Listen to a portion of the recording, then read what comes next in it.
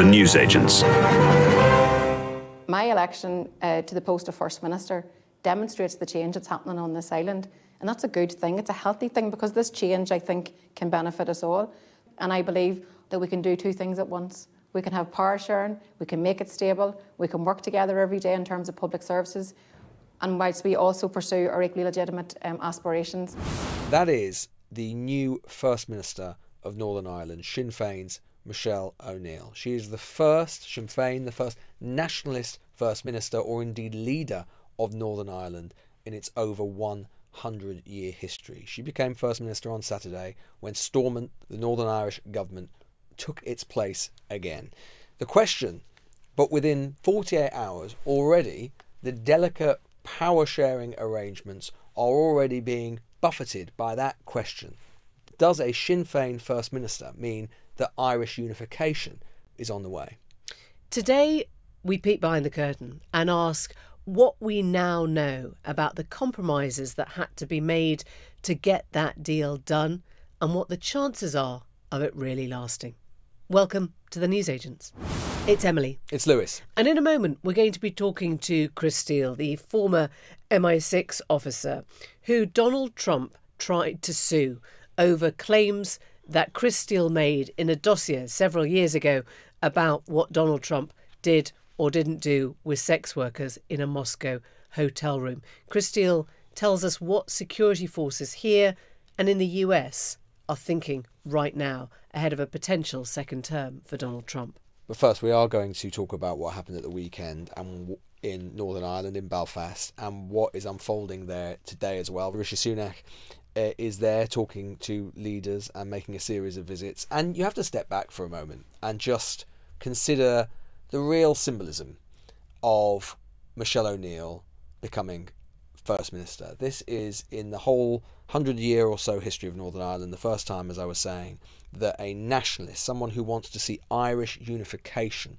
has led Northern Ireland. You've got to remember that when partition happened back in 1922, that the borders of Northern Ireland, the numbers of counties, the number of counties of Northern Ireland was drawn up specifically to ensure that there would be a permanent unionist Protestant majority in Northern Ireland. The idea of a permanent Protestant majority has gone, but the Unionists took solace with the idea that they would always be on top politically. And although it is true that the positions of First Minister and Deputy First Minister, Deputy First Minister is going to be the DUP's Emma Little Pengelly, an avowed unionist, of course, despite the fact that those two positions are co equal, that both have to agree at all times for anything to happen, the symbolism is undeniable, and that is why the pictures of a Sinn Féin First Minister leading Northern Ireland have gone around the world. Yeah, I do think there is something about this image, and we have had obviously Sinn Féin and the DUP side by side before. That was how the Good Friday Agreement was embodied. And I think it's important to note that both Michelle O'Neill and Emma Little Pengelly essentially came of age in that era. They both worked for, if you like, the godfathers on either side, uh, Martin McGuinness and Ian Paisley. So they have grown up in the shadow or in the, the potential and the belief of what Good Friday could produce. And I think seeing those two women, Michelle O'Neill and Emma Little Pengelly, side by side, it feels, I mean, it looks transformational. And I think this is where you have to be slightly careful because we have seen Sinn Féin and the DUP side by side. But these two women are the product of the Good Friday Agreement. They came of age, they came of political age in an era which showed that there could be compromise and union and discussion as opposed to violence. And I think it's particularly important given what we know about the, if you like, the upbringing of each of these women, because they both come from paramilitary families. Yeah. You know, Michelle O'Neill, born into a, a, an IRA family. Her, her father, her uncle were both prisoners.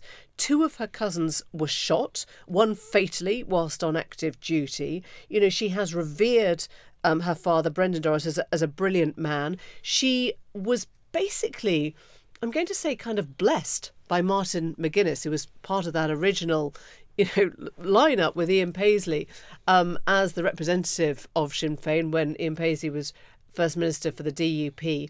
And I think Martin McGuinness or maybe Gerry Adams spoke at her father's funeral, and she then spoke or helped carry the coffin at Martin McGuinness's funeral. So she's incredibly entwined, right? In not just Sinn Féin, but in the IRA, you know, as as was the sort of larger political family of that.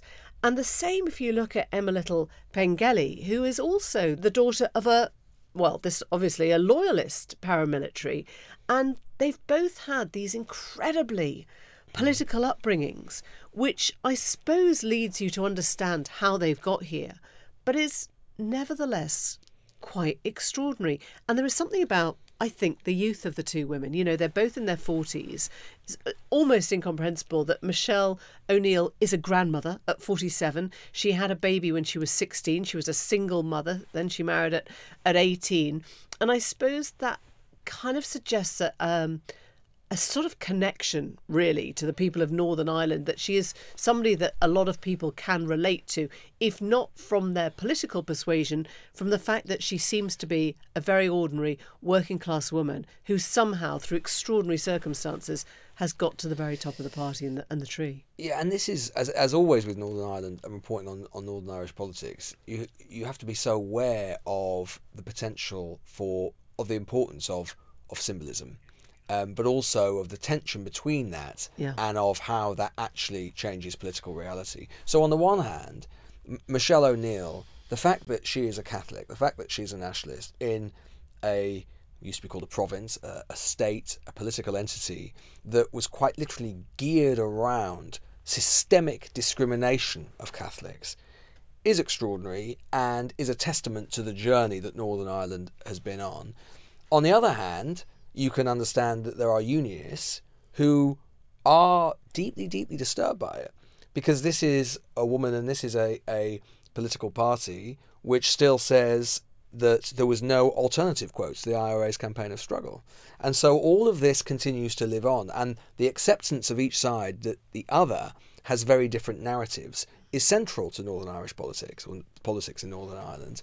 But she did make in that in that speech on Saturday again, talking about symbolism, she did certain things which matter and yeah. which are designed to try and extend that hand to the unionist community. So, you know, for example, the very fact that she talked about Northern Ireland, a lot of nationalists, and she included, will rarely do that. They will talk about the North because they don't accept the validity of Northern Ireland as a state. They don't accept partition, or at least historically that was the case. So these little things matter. The... She also used that incredible phrase, didn't she? British or Irish or both or neither. Yes. You know, and that that sense that sometimes you feel your identity very strongly, and sometimes you actually want to be able to accept multiple identities because that is the only way that you can actually survive in a place where you are so defined by where you came from or what you believe that it is sometimes sort of impossible to escape from. Which was always the great genius of the Good Friday Agreement in the first place, was is that it tried to soften the edges of identity. I, exactly. Yeah. Identity in Northern Ireland was always deeply hard edged, deeply sharp. Was sharp. You were either a loyalist, or you were a nationalist, or you were British, or you were Irish. The whole point of the Good Friday process was to say those things matter less. That you blurred the divisions and the lines between the two, and indeed you started to see the emergence of a new identity, which was being from Northern Ireland. I'm Northern Sorry, Irish, and that is what Brexit basically rode a coach and horses through yeah. because it resurrected, literally in the case of the Irish border, kind of lines. Are you in or are you out? Are you in or are you out? You could no longer be in quite the mm. same way Northern Irish and British, or you had to kind of decide. so slipping, osmoting between the borders. Precisely. The question, of course, and you can argue, as we were saying last week, that this is an attempt to finally put the last piece of the Brexit puzzle in mm. place with the restoration of Stormont. The question, of course, the two questions that are now basically haunting the whole thing as much as you can get starry eyed about the symbolism is one, will it last? And you know, we've got to remember that even before Brexit, Stormont, since the Good Friday Agreement, has not been in session for 40% of its existence, yeah. either because Sinn Féin have walked out or because the DUP have walked out, and that, as I say, predated Brexit and often was about other things. And the other question is whether any of this actually leads to the possibility of a border poll, as outlined in the Good Friday Agreement as being a possibility when the Secretary of State for Northern Ireland thinks there is a majority for it, on Irish unification, i.e., a referendum on Irish unification. And obviously, with the prospect of a nationalist First Minister in Belfast, and indeed potentially the possibility of a Sinn Féin Taoiseach in Dublin, which is also a possibility. Sinn Féin leader Mary Lou McDonald has been polling very well now, basically since the last election, did very well in the mm. last Irish general election of 2020, that you could have Sinn Féin First Minister in Belfast, and that would on some level, again, symbolically, kind of change the dynamics, certainly between London and Dublin and Belfast. And some people saying, does that make a border poll more likely? I guess on the one hand, Michelle O'Neill has to say that. She has to speak to her constituency, which is Sinn Féin. We haven't forgotten what the sort of the overarching ambition, if you like, is. But I also think that a decade is a long time, and who knows what's going to happen in a decade. And as you say, it has to be done by the will of the people. Literally, you know, it has to come above 50% of the people. Mm. Is it 50%? Yeah, or possibly even higher yeah. in terms of the poll. It has to overcome a threshold when the public is asked. I, I think the other point of the jigsaw actually is when you talk to people in Ireland, a lot of them are saying, don't make the mistake of thinking we want a United Ireland. We don't. That's a massive drain on Ireland's resources right now because Northern Ireland is much more expensive to run. Has been, it's, been a much just, it's a lot poorer now. So this idea that somehow there is this sort of golden dream from everyone who lives in Ireland that they want to see United Ireland is a complete fantasy. Well, but this is again where potentially the prospect of ha- having Mary Lou McDonald as Taoiseach could change something because, of course, as part of the Good Friday Agreement itself, both Fianna Fáil and Fine Gael, the main Irish political parties, their Taoiseachs have, like British Prime Ministers, effectively sort of said that's for Northern Ireland yeah. to sort out. That's that's their will. That was again one of the great beauties of the Good Friday process. That basically London and Dublin more or less kind of renounced their territorial interests in Northern Ireland and said that is for Northern Ireland to deal with. Obviously, if you have Mary Lou McDonald as Taoiseach, that's different because she very much doesn't believe that. She wants there to be reunification. Whether that translates into anything is, is a different question because we should remember that, again, we can get this is the tension between the symbolism and the kind of real realpolitik. The symbolism is having your first nationalist first minister important will mean a great deal to many people, for good or ill. It's also worth remembering that Sinn Féin basically got more or less the same percentage of the votes in the last Assembly election as they did in the Assembly election before that. The reason that Michelle O'Neill has become First Minister is because the DUP support fell away. Yeah. Because, because that's uh, more split. Because it's been split because of Brexit and their role in Brexit. And you've had disgruntled unionists voting for more hardline unionist parties, in particular, namely the TUV, which has been arguing most vociferously both against the DUP and against the Irish Sea border. So the actual balance between nationalism and unionism in Northern Ireland hasn't actually changed that much. It's roughly equal. Unionism still just about, if you put all the unionist parties together, it's just about on top. It's just in terms of which party has come first and second in the actual poll back in 2022 that has translated into the First Minister, Deputy First Minister arrangement that we've seen. Well, we're going to talk now to Sam McBride. He's Northern Ireland's editor for the Belfast Telegraph. And um, I guess we want to understand if there is now a moment of optimism. Sam, it was a historic day on Saturday.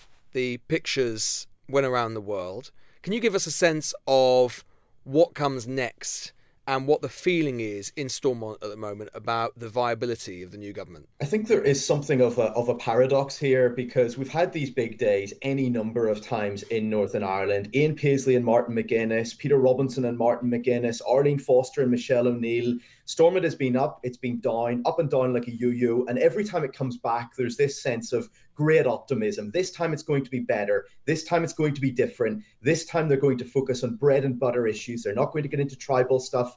We had all of that on Saturday. There was a lot of optimism around Stormont, a real sense of something had changed. There, there was suddenly some form of government coming back after two years. And yet, I think one of Northern Ireland's problems is, ironically, that it almost has too much consensus sometimes. Often our politics is seen from outside, and even here, um, as being far too divided, far too bitter, far too um, deeply split between the two communities. And that is true, but also sometimes that's all cast aside and there's this air of optimism which carries all before it and then a year later i think a lot of people in northern ireland and outside northern ireland wonder what on earth went wrong? You were telling us this was great. Everyone was was very positive. This was a great deal. Things were different this time. And I think when you scratch the surface of what happened on Saturday, you see elements that are pretty concerning. So there was meant to be a deal, we're told by Sinn Féin, with now the second biggest party, the DUP, and that deal was meant to say that as they picked their ministries on Saturday in the Stormont chamber. It had all been worked out in advance, and that basically there was a fast one pulled by the DUP at the last minute. They were meant to pick one ministry, they picked another. We've got the DUP saying that was never the case. That's that's not right at all. So from the outset, the two parties at the top of Stormont are not maybe at each other's throats, but there's there's no real trust there between them. And when you look beneath there, it's it's equally problematic. So you've got the Ulster Unionist Party, which are in the executive. Their party leader, Doug Beattie, has come out this morning said he wanted to be in opposition. So I mean, I, I can't think of any political leader anywhere in the world who has said that they don't want to be in government, but they find themselves in government because other people in their party want to be in government. We've got the main party of opposition, the SDLP, the main nationalist party at one point in Northern Ireland, now the smaller nationalist party, and they have just suspended one of their few MLAs that, that, that are left on their benches because he left early on Saturday because he is double jobbing as the manager of a Gaelic football team and he had to catch a helicopter to the other side of Ireland. I mean, there are real problems going on here beneath the surface. Um, but publicly, in terms of what people see on the news tonight, it's the Prime Minister, it's a Taoiseach, everything looks great, everybody's happy, everybody's smiling. I'm not sure it's quite as straightforward behind the scenes. It's extraordinary to get that insight from you, Sam. If I asked you to go back even two days before that, for the moment when the deal seemed to come together. I mean, we described it on the news agents as a sort of, you know, a happy fudge. It'd be much better to get your insights as to where the concessions, as you see them, were actually made and whether those concessions can withhold the kind of force of, of the future now. So there there were concessions made on both sides. That is very clear. I think it's easier for the European Union, it's easier for the British government, for them to have made concessions here because they were never quite as dogmatic about this. They were pretty dogmatic, certainly from, from Brussels' perspective. They were saying this is the best we can do, etc., etc. But from the DUP's perspective, they presented their seven tests um, for for judging any deal in almost religious terms. I mean, they were written on tablets of stone. They were things that they could not alter, they would not alter. They got a very robust mandate for that from their voters. Um, the the polls which we had in the Belfast Telegraph showed that their support was going up as they became more and more hardline on that after the election. So for them to suddenly say, actually, you know what? It's more important we get government back is a really remarkable turnaround the big vulnerability here for Jeffrey Donaldson is that he is saying he's got rid of the Irish Sea border to all intents and purposes for any goods that are staying in Northern Ireland, and that's simply not true. Uh, there are goods that will stay in Northern Ireland that will travel through this red lane. They will have to go through bureaucracy. Um, there will be some checks on them, but actually, checks are not the most significant element. It's what comes before the checks. It's the paperwork, which is the which is the main impediment to trade here. And the great hope for him is that that is so far out of sight that most people don't see it, that it doesn't really matter. The risk for him is that if something goes wrong, if there is a, a horse meat scandal, if there is a food problem, if there's something which is being smuggled into the EU through Northern Ireland that causes the EU to use its full legal powers to insist on more checks, that is going to be difficult. And so I think this can work if there is goodwill on both sides, if lots of blind eyes are turned in various directions. But if there is a rigorous implementation of what's on the page, it's not going to meet what the government or Jeffrey Donaldson have told the public it's going to be. What is your assessment of where we are in terms of the Good Friday Agreement and the future of the Union? I mean, on the one hand, we've got Michelle O'Neill, first nationalist leader of Northern Ireland in its history. One of the first things she said is the has referred to the possibility of, of a border poll in the next 10 years. On the other hand, unionism and the DUP have gone back into Stormont partly to shore up the union because they think that the whole process will fall apart if the if there is no continued government at Stormont. There's been a lot of fevered talk about what this might mean in terms of having a nationalist leader. Where do you think the union is at now? So it's very easy to misunderstand this from inside Northern Ireland, but especially from outside Northern Ireland. Sinn Féin is the biggest party. Um, that is historic. That is remarkable. Nobody with any sense of history can play that down. It is really, really significant, but it's significant for now in a purely symbolic sense. Um, these two roles, the first, the deputy first minister, are entirely equal. One cannot change the logo of their department without getting the other sign off. They are absolutely hamstrung by each other. That's the way it's always been since Stormont um, was set up after the Good Friday Agreement. It is the way it is now. So this is not like British politics where you have got two big parties. Yes, there's some smaller parties there, but two big parties. And if Labour are up, it means the Tories are down. There's a huge landslide from one to the other. That's not what happens in our politics. We have a plethora of parties, tiny little parties. So even Sinn Féin, as the biggest party, has something like 30% of the vote. They're nowhere near getting over 50% um, as a party. They're nowhere near getting over 50% for Irish unity. Very few people who support Irish unity actually believe that if a border poll was held tomorrow, they would win but they do hope that they could win maybe in five years time maybe in 10 years time that's the that's the big strategic move here by them and also if Sinn Féin can get into government in the south of Ireland, in the Irish Republic, there is the potential here that you could have a, a Sinn Féin Taoiseach in Dublin, Sinn Féin First Minister in Northern Ireland, enormously significant in terms of the symbolism of that. And you could have some real world effects beyond symbolism. You could, for instance, have, as you now have, a Sinn Féin, um, a Sinn Féin minister for the economy in Northern Ireland, a Sinn Féin minister for the economy in the south of Ireland. They could work to harmonise things across the border, build an all-island economy in a way that last week's deal said the British government now no longer believes in that. Those are words on a page from a government which will not be there much longer in London. What could be far more significant is what actually happens in terms of who has the levers of power in Belfast and in Dublin. But it's very important, I think, that people realise Sinn Féin being in power in Belfast as as nominally the the uh, the uh, top dog in Stormont Castle, hugely significant in terms of the history of Northern Ireland. Northern Ireland was built so that that would not happen, could not happen. It has happened. That really matters, but it does not mean Irish unity is round the corner.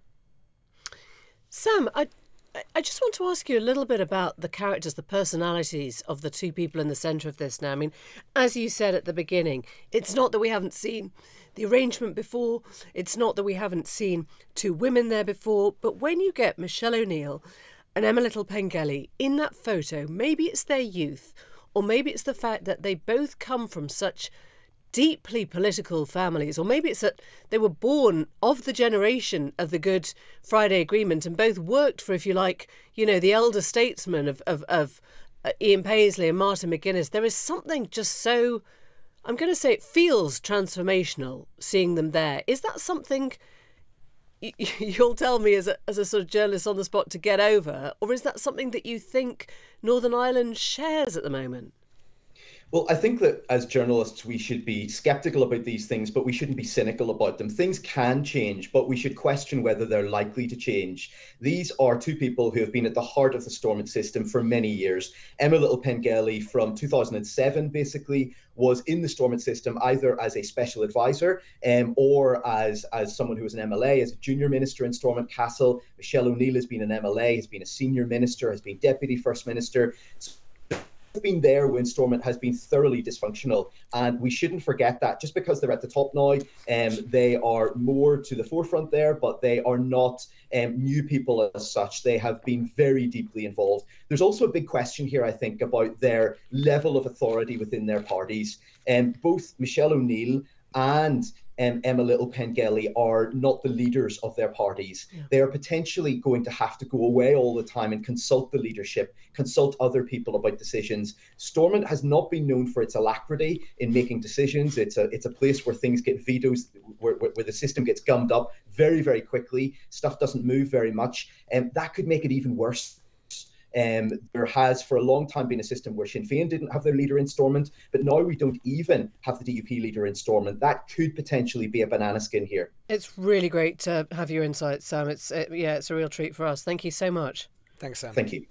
So as we said at the beginning, Rishi Sunak has been in Belfast today and in Northern Ireland today, and as we were saying last week, something of a victory lap for him. He doesn't get that many good days um, as Prime Minister in the situation that he's in, and he can point to this as being something that he has invested a lot of political capital in and not just down to him, but I think it's not unfair to say he's had a role in bringing it about. This is what he said in Belfast today on the question of whether all of this might mean a border poll our, on Irish unity? Well, I had very constructive meetings this morning with the executive, political leaders across Stormont, and it's a historic and important day for the country because Northern Ireland's politicians are back in charge making decisions on behalf of their people, which is exactly how it should be. Now, our new deal gives them more funding and more powers than they've ever had so that they can deliver for families and businesses across Northern Ireland. And that's what everyone's priority is now. Mm. It's not constitutional change, it's delivering on the day to day things that matter to people. That's why I'm here visiting this school at Glencraig Integrated Primary School because the children here are the future. And because of the progress that we've made in the last few days, that future is undeniably brighter. I think it is a reminder, actually, of how successful Sunak has been at negotiations like this. The Windsor framework a year ago and the sort of culmination of it with the return to power sharing now you, can only start to think if he hadn't spent so much time, so much political capital fighting, you know, the small boats or the Rwanda planes or whatever, what might have been achieved in terms of just easing relations with the partners that we really need to be doing things with, whether it's within the United Kingdom or further afield. Yeah, and yeah, I mean, I suppose he would say that um, no matter how successful he is in Northern Ireland, there are very few votes in it for him. Yeah. Um, it's something that he's tried to clear up the mess of around some of his predecessors, in particular Boris Johnson, and so has had to focus the politics elsewhere. I mean, I think in terms of what happens now, and when all of the kind of journalists and the politicians have gone home, and Stormont is left having to govern in the very unusual arrangement that it has, as Sam was saying there, you know, basically the two major parties have to agree on everything. And you get it's, a three billion pound, you know, starter. You've got three billion pound starter, but the three billion pounds that Rishi Sunak has basically given as something of a bung, an incentive to get the DUP to go back into government. They're saying that's still not enough. That mm. Northern Ireland still needs more money to avert future strikes and so on. And and it is true to say, and this is I think what will determine the viability and how long this new administration lasts for, or certainly how successful or popular it is. You know, the domestic situation in Northern Ireland is dire in all sorts of public services. I mean, it's true in Great Britain as as yeah, well. you don't have to look that far. No, no, that's true. But you know, you, if you look, I mean, the the health service in Northern Ireland, for example, bad everywhere else. But in the time that Stormont has been on ice, waiting lists in Northern Ireland have gone up fifteen percent look at what's happened to Lough Neagh. Lough Neagh is the sort of main big freshwater lake in the middle of Northern Ireland, from which 40% of Northern Ireland's drinking water comes.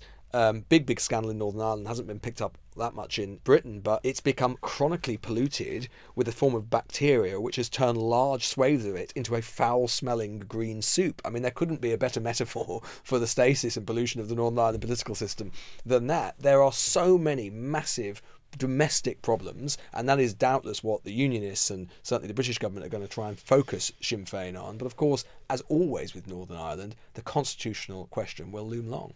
We'll be back in a moment with Chris Steele and his lawsuit against Donald Trump. This is the greatest witch hunt. It started with Russia, Russia, Russia. Remember that? He was with four hookers. You think that was good that night to go up and tell my wife, It's not true, darling. I love you very much? It's not true. Actually, that one she didn't believe because she said he's a germaphobe. He's not into that, you know? That was Donald Trump on the campaign train in Iowa, referencing an extraordinary story that emerged in 2017 when it turned out that a former MI6 officer, Chris Steele, with his intelligence agency, had described what he was told in a dossier that Trump had been compromised by Russian security, who had leaked that Trump had once employed sex workers to urinate on a bed in a Moscow hotel room that had once been slept in by Barack and Michelle Obama. This was part of what came to be called the Steele dossier, or, in more fruity terms, Peepygate. And this was the case that Donald Trump tried to bring to court to sue Chris Steele over. On Thursday, that case was thrown out. So Chris Steele has unwittingly, unknowingly in a way, ended up as one of the kind of central players of the PR war around the Trump presidency. And this is the latest part of the saga between the two men, Trump and Steele. And Chris is here, and you can finish the story for us, Chris, because he didn't win. He lost that just now. Yeah, and I think it's important to stress that actually this is the second case that Donald Trump has brought against us. He brought one against us in Florida, which he lost in the late uh, autumn of uh, of 2022, and it was only really when that case failed and collapsed that he decided to try and sue us in London. So a sort of uh, illegal tourism, really, coming over here. I mean, just remind us what was at the heart of this. It's a very complicated case because it relies, relies to um, not libel law, which is the usual issue that we're up against, but a data protection law, much of which actually hasn't been tested in case law in court. So it's quite an important judgment in that regard. Um, and essentially, what he was arguing was that um, that material in the dossier was um, had caused him distress was untrue, and he wanted it rectified. But of course, he brought this case six years after the dossier came out, and the judge picked up on that big time in her judgment by saying that if he'd been so concerned about his reputation, he would have sued us a lot earlier. He then tried to counter that by saying it was because I was president at the time. And our lawyers pointed out that he was still suing people in civil courts at that point. So clearly, his motivation really was to maintain pressure on us and to get me, essentially, I, I would put it. The judge concluded that his lawyers had actually misfiled the case. I mean, unbelievably, they filed the case under the wrong law. Data protection law changed in 2018, and they tried to sue us under data protection law of 2018, when in fact the relevant law was 1998, which was the pre- previous law. What is it like being put in this position, being sued by Trump? I mean, it, he's at the centre of considerable legal action, as we know, in his own country himself. He took the time, despite all of that, to come after you anyway. Mm. Just talk about a little bit about what that is like. I think he's a, a, deeply vengeful man. I mean, I think, you know, you'd imagine that someone who was running for president in the current situation the world's in with all the various crises going on, that he would be focused on that and he'd be focused on his campaign. But of course, he does seem to spend a lot of his time in, in courtrooms, admittedly, some of them as defendant. But in this case, a, a, a suit of choice, mm. which was started, you know, less than a, a year ago, and uh, and which you know was never really going to get anywhere. I don't think. I mean, we were advised strongly at the beginning that we had a very high chance of winning this case. And once his lawyers started misfiling and all the rest of it, that we would get a strikeout motion. I mean, I think the, the real issue here is why this was allowed to carry on as long as it did. The fact that it cost us £600,000 to get to this point, which incidentally we weren't insured for. Do you get that um, back? Well, exactly. We get some of it back. We get perhaps up to 75% of it back. But ultimately, you know, for a business like ours, the fact that we're probably going to have to pay out a hundred or 150,000 pounds for the pleasure of being sued by Donald Trump and him losing is a real problem, I think, in our legal system and needs to be looked at very carefully now going forward as part of this whole debate, as you know, on lawfare. Did you hear from him directly? Did you ever see him? I mean, presumably he doesn't come to court in something like this. He didn't turn up at the uh, the strikeout hearing. No, I mean he was claiming he would turn up at a trial, but a trial would have cost us probably between one and two million just to fight it. And of course, there is a question mark, I think, and I hope it, I'm wrong about this, as, as to whether we will actually re- retrieve these costs at all. You don't think he'll pay? Is I, it him I, that would have to pay? Yes, it's him that would have to pay, or, or, at least some of the super PACs that are funding him, which again is another issue, that he seems to have been spending political donations on pursuing vindictive legal action in foreign jurisdictions. But I think, um, given the debt he's in and given the possible judgment coming in this New York case, which you're fully aware of, um, he might run out of money before he gets to pay us our dues. And presumably, it takes extra court time, effort on your part, litigation, just to go through that process. It doesn't happen automatically. Yes, uh, we don't know quite yet how he's going to react to the co- a cost order that will come. He's already looking at 83 million. I think yours is small change. It is, but nevertheless, he might he might well not want to pay it for yeah. all sorts of reasons, including psychological, political ones. The idea that he's paying Chris Steele and Orbis a large sum of money for having failed in a court case against us is pretty humiliating. well, it him. makes it seem almost as if he's affirming the what was in the dossier on some level. Well, he, what... no, presumably he would, to take Donald Trump's side for a moment, he'd presumably say it was inaccurate Uh, I stand by that, and the judge just threw it out because it was wrongly petitioned by my lawyers. Right? I mean, he could he could still or claim say it's that, a British court, or yeah, it he could claim that he never lost well, it would be rigged. But interestingly, you know, the, the lies coming from Trump and his camp continue unabated. Uh, and one of them was that uh, his spokesman issued a statement last week saying the court had found that we'd pro- produced no evidence in support of the contents of, of the dossier. The court never even examined that because they didn't need to get to that point. The judge made it explicit in her judgment that she was ruling the case, out of court on a strikeout because of all sorts of other reasons, and that she didn't need to get to the point where she was commenting or otherwise on the veracity of the dossier. So, so this stuff that we face from Trump and his, his spokesman is a tissue of lies. And I, I copied you over a, a clip of something he said in 2020 about how we'd been paid millions and millions of dollars to produce this document, when it's been well established in litigation under oath that we were only paid $168,000 for four months' work, which in our business is not exceptional.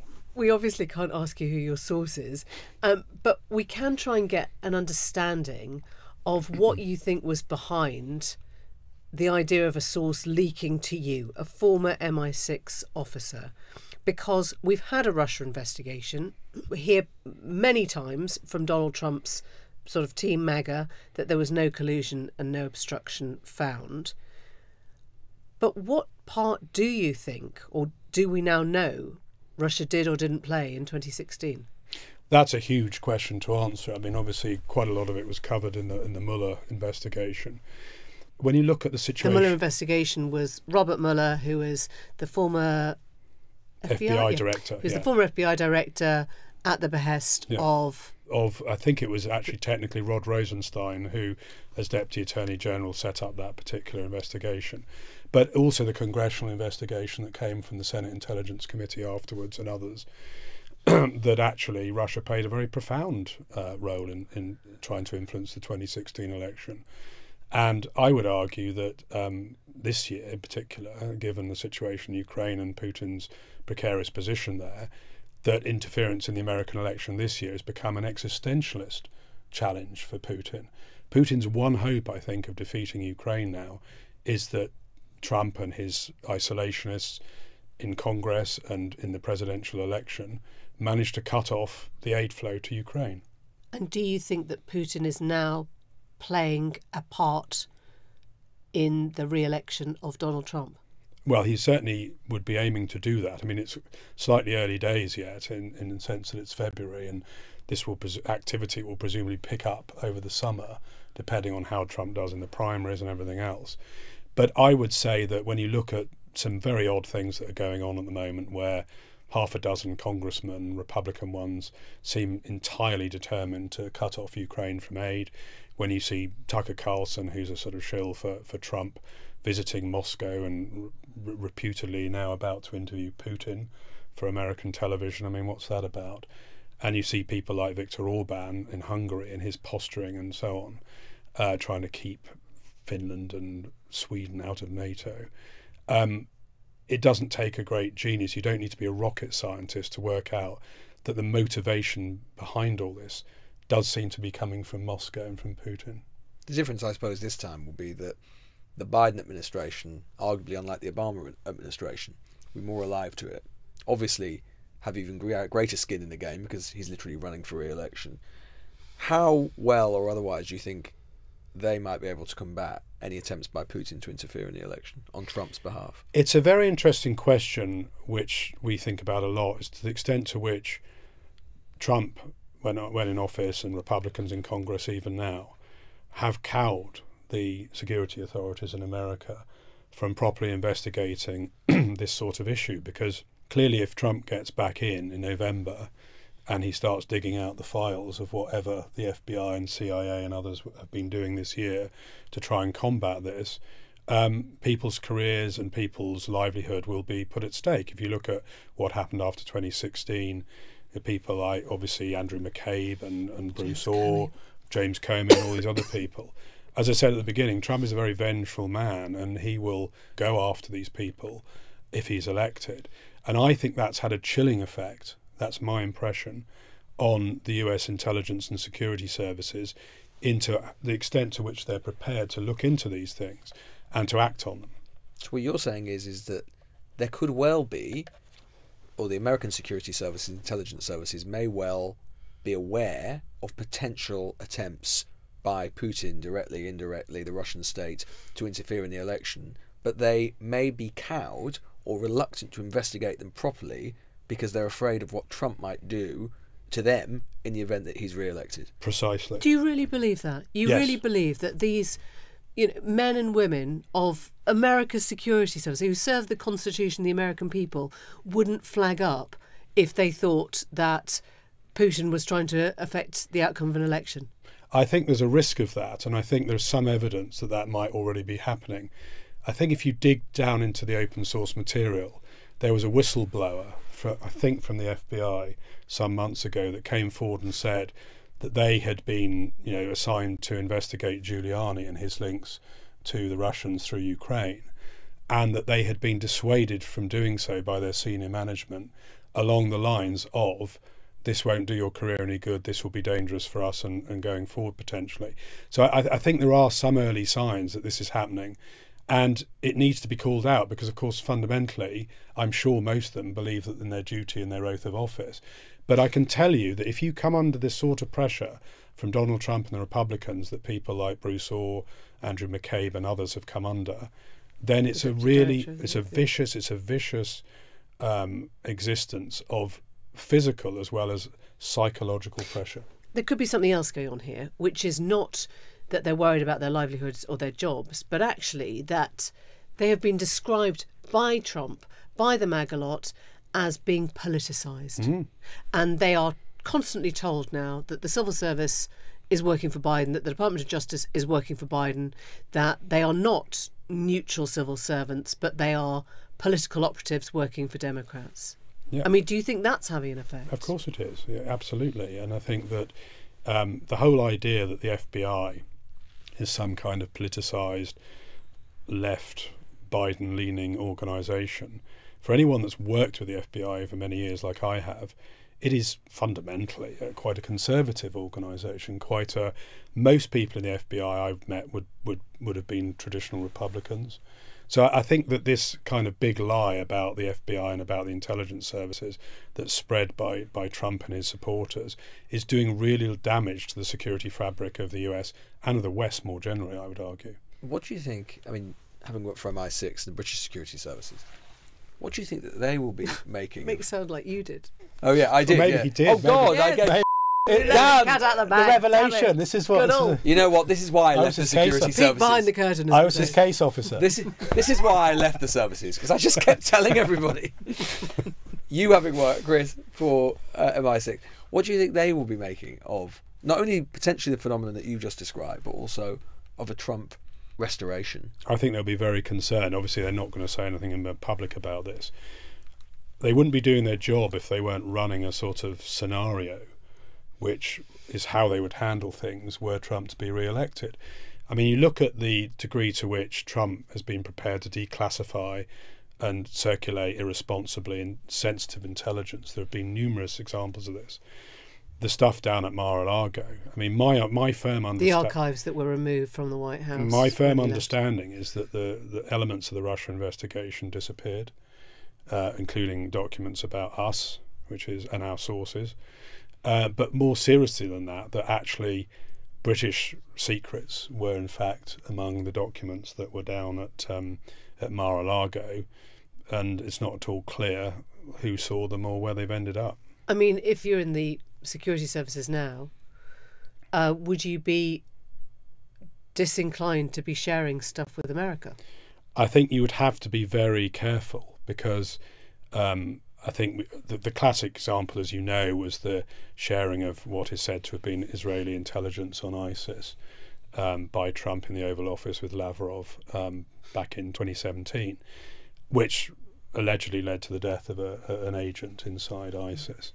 And I think when you're looking at things like that, you have to reckon that sharing intelligence, particularly sharing source information with the Americans, were Trump to come to power or back to power, would be a very precarious thing to be doing. And you know, for all intelligence professionals, their their primary uh, responsibility is to the safety and security of their sources.